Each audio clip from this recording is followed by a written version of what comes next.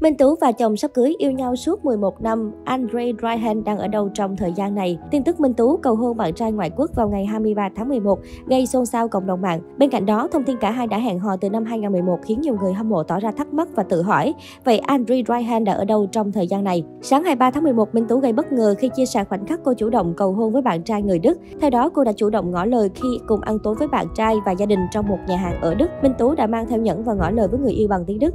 Ngài Christopher, em hoàn toàn cảm nhận được sự quan tâm của anh và tình yêu anh dành cho em. Anh chưa bao giờ từ bỏ tình yêu này dù có chuyện gì đi chăng nữa.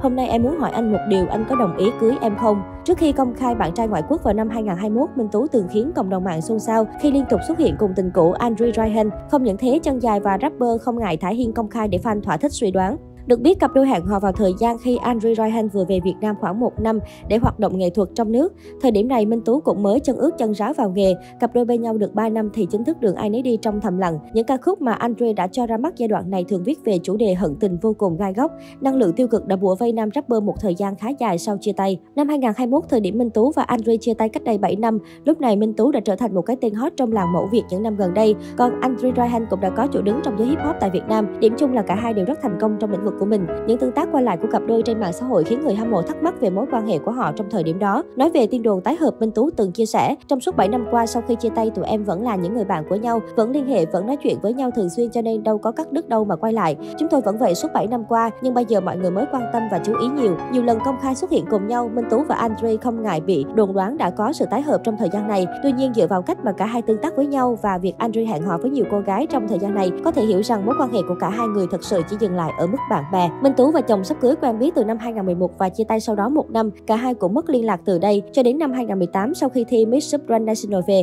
Minh Tú ngồi quán cà phê đợi một người bạn thì tình cờ gặp lại Chris. Họ nói lại mối quan hệ như những người bạn. Trải qua thời gian đủ dài để lắng nghe, chia sẻ thấu hiểu, hai người quyết định yêu lại từ đầu. Cặp đôi âm thầm hẹn hò một năm trước khi công khai yêu.